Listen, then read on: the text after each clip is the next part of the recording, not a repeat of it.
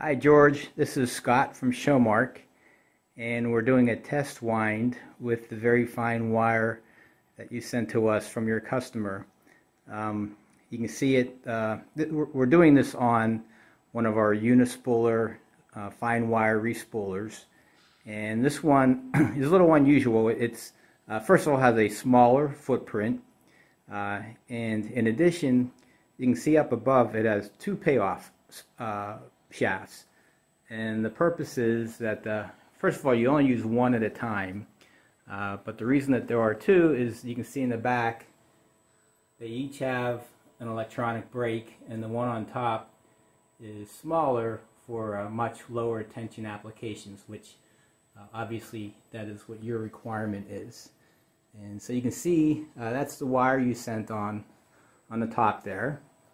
And it's being routed down around our encoder based length tracker. It's tracking with uh, you know, very high resolution. Uh, past a wire break sensor in the center, around that bottom guide wheel, and then up onto our traverser. And you can see here the result. I don't know if you can see it, so fine, but we'll continue to wind and when we have some more layers you'll see it. But uh, so far it's doing a, uh, a pretty good job. Uh, so looking at uh, the controls, you can see here on the right there's a length tracker and that can be set up for either uh, feet or meters. Uh, and the number on the lower line is a length target. So you can set a desired length and the machine will stop automatically at that length. You can see uh, this is a switch for turning the wire break function off and on. It's actually off right now. I didn't try to uh, sense that wire. It was so fine. To, but uh, we, we will do a test and it may work. And then you can see controls for adjusting the tension on each of the payoff shafts. Um, and obviously we have a very low setting for this wire right now. On the traversing unit, uh, you may be familiar with it, but just in case, I want to point out that here we can adjust the, uh, the winding pitch onto the new spool. And these two knobs adjust the turnaround points of the traverse to match the flange positions of the spool that you're winding onto. So, so far so good at this speed. I'm going to try and speed it up. This machine will go up to 800 RPM. See if we can get it going faster.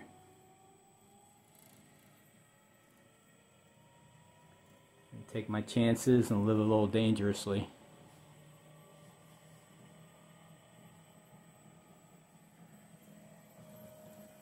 So you can see there a much faster rate.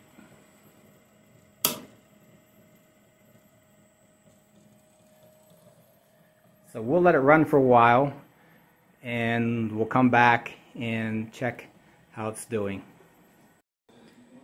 Okay, we're back for an intermediate check and you can see it's continued winding without a problem. We're up to 19,750 feet. And there's the, the new wind so far.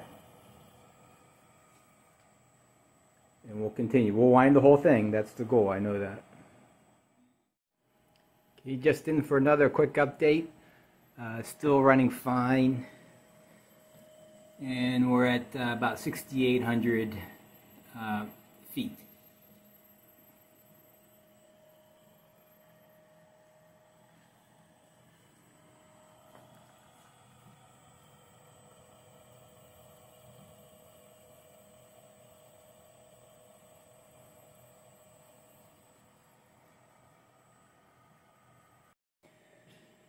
Another quick update, we're at 12,036, 12,050 feet. you can see, still looking good.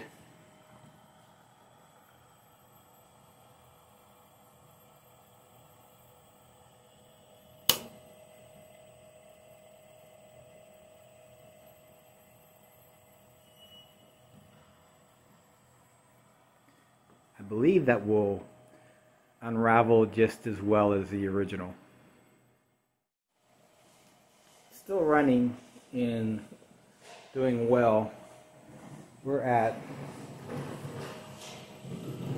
34,500 feet and it's getting late here. I'm gonna um, leave for the night and I just wanted to make a quick uh, update because I'm going to try and turn it off for the night.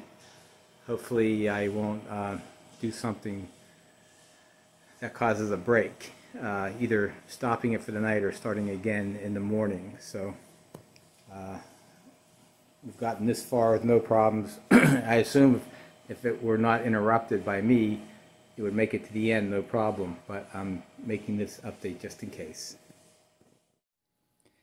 Hi, George. It is Scott with one last update on the winding. Uh, things were working really well, and I don't know what happened, but we had a break. And I'm surprised because the machine was working flawlessly. Uh, is it possible that there was a snag on the payoff spool? Uh, we got that far here is the new spool that we wound. And to be honest, uh, the counter uh, rolled over. In other words, there was it reached 100,000 feet and then just uh, gave that message and then continued to wind, but I just don't know how far over 100,000 that it went.